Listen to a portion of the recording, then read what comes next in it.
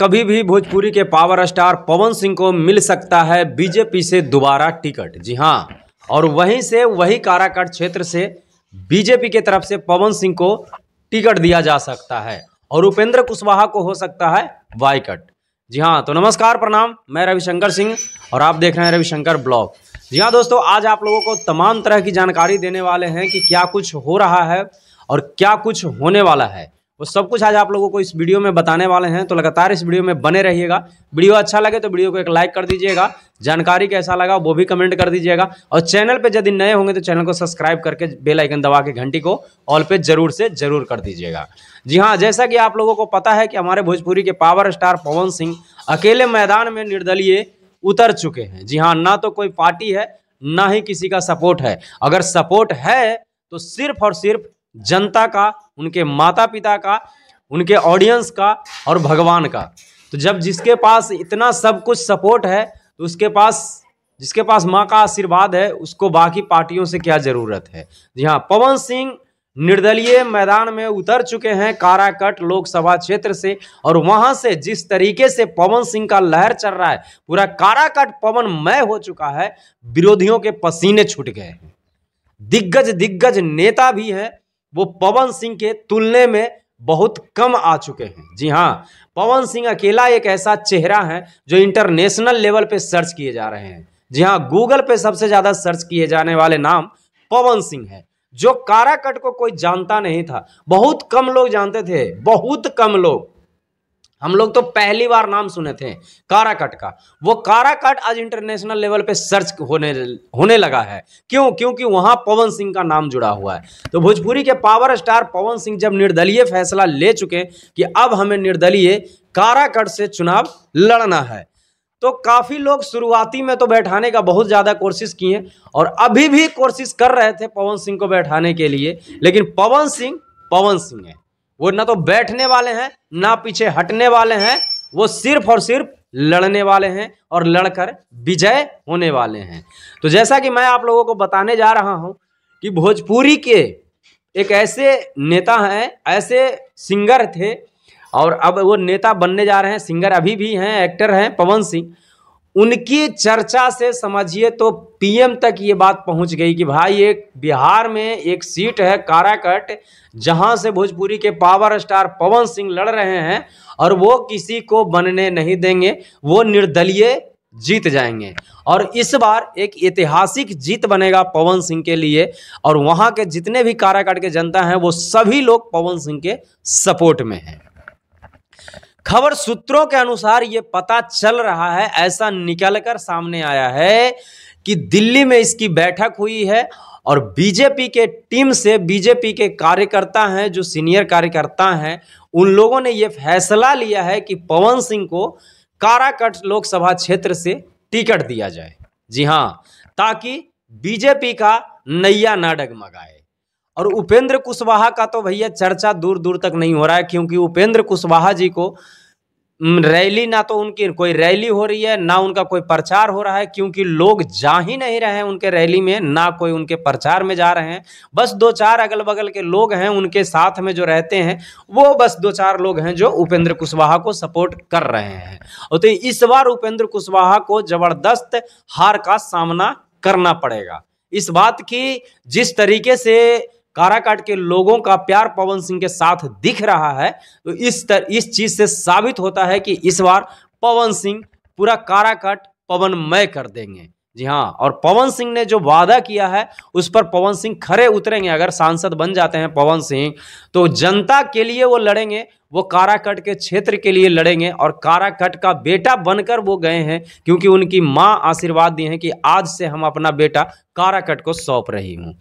तो कहीं ना कहीं पवन सिंह का लहर देखकर बीजेपी भी मजबूर हो गया है। जी हाँ बीजेपी पार्टी भी मजबूर हो गया है वापस टिकट देने पर।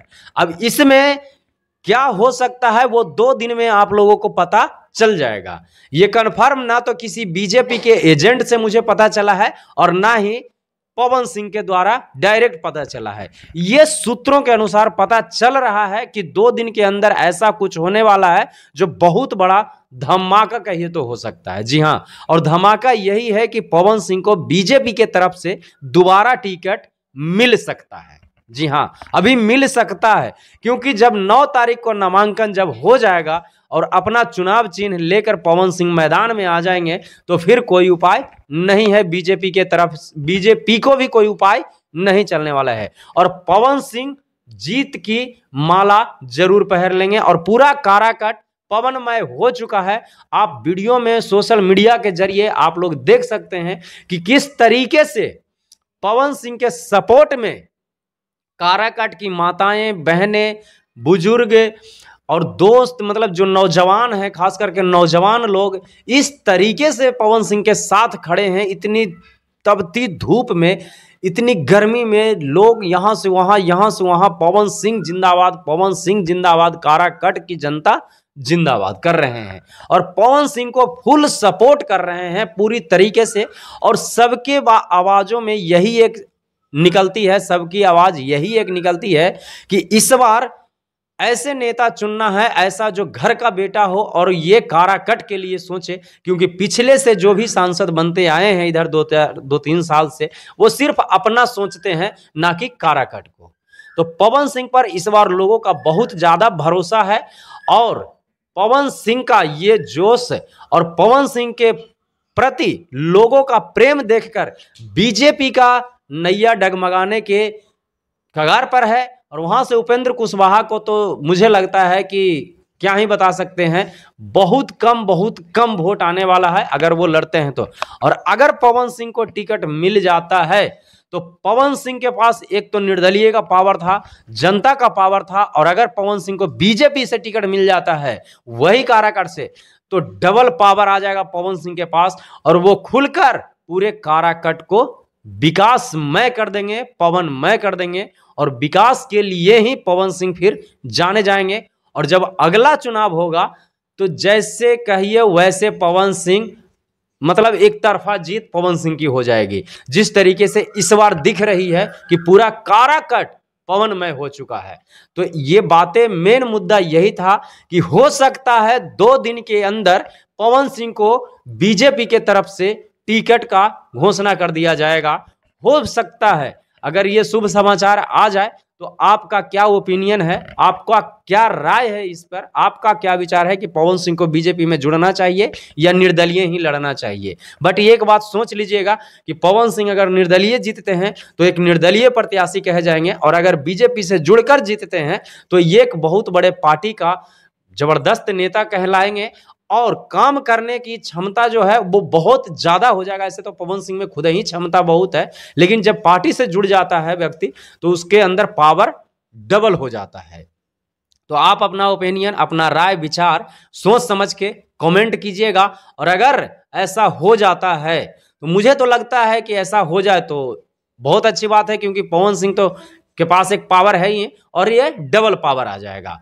जी हाँ तो ये सूत्रों के अनुसार पता चला है, ना तो बीजेपी के टीम से मुझे कोई खबर मिली है, लेकिन ये चीज़ सत्य भी हो सकता है। जी हाँ चर्चा हो रही है, क्योंकि पवन सिंह को गिराने के लिए चार चार पाँच पाँच जो स्टार आने की आप लोग वीडियो में सुन रहे हैं तो आखिर क्यों? क्योंकि पवन सिंह कैसे भी हार जाए, लेकिन पवन सिंह का जोश देखकर जो आने वाले भी हैं ना, वो भी असमर्थ हो रहे हैं कि भैया पवन सिंह है जाके खाम खा वैसे ही हो जाएगा। और पवन सिंह के प्रति जो लोगों का प्यार है, वो पवन सिंह पवन सिंह है।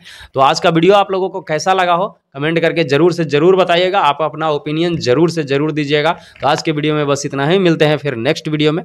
तब तक के लिए जय हिंद, जय भारत।